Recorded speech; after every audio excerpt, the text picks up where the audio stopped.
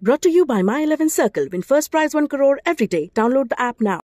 Simon, my last question. A word on Andrew Symonds. Uh, we lost a great soul a few days back, mm. and within a span of three months, we lost three legendary Australian players: Sir Rodney Marsh, uh, Shane Warne, and uh, then Andrew. Uh, I'm getting goosebumps. Mm.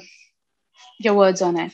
Yeah, look, uh, it's obviously been a very sad time, and and uh, you know the, the, families and the teammates and the, the friends involved in all of this really do um, do feel sorry, and and we're just obviously heartbroken uh, for all of their sakes. Uh, um, and the game of cricket has lost some absolute legends um, and, and, good people.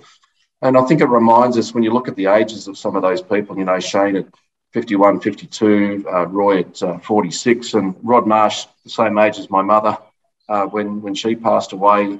It's far too young, and we, we feel that enormous sense of loss and and being deprived of you know their ongoing knowledge being put back into the game. Uh, that's what we're sorry about. We're sorry for their families, particularly to not be able to to have their their dad, their brother, uh, family member with them anymore. Uh, what do we take away from that? Well, we take away that life is short, and that's what I learnt in 2009 in Lahore. Uh, we learned that we've got to make every day count um, and tell the people that we do love that how special they are and how important they are in our lives, and to yeah, just just make every moment count because it's it's so precious. Any uh, particular memory, fond memory that you have of Andrew? Yeah, look, Andrew was a bit of an enigma. Um, he did some amazing things on and off the field, and probably did some regretful things off the field as well.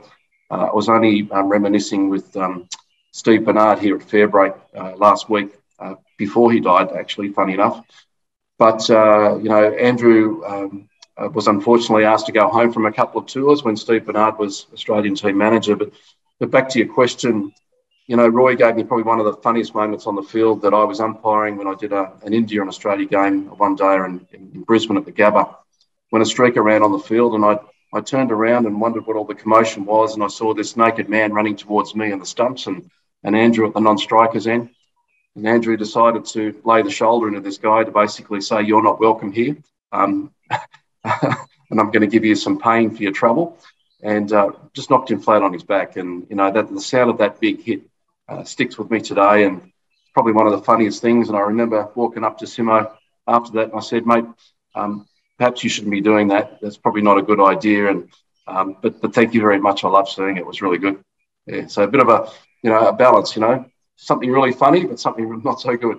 मेरे साथ जुड़िए मनाने के लिए cricket का सबसे बड़ा त्योहार मैच से जुड़े आपके हर सवाल का हम देंगे जवाब जानने के लिए हर update live analysis special interviews download कीजिए स्पोर्ट्स तक कैंप।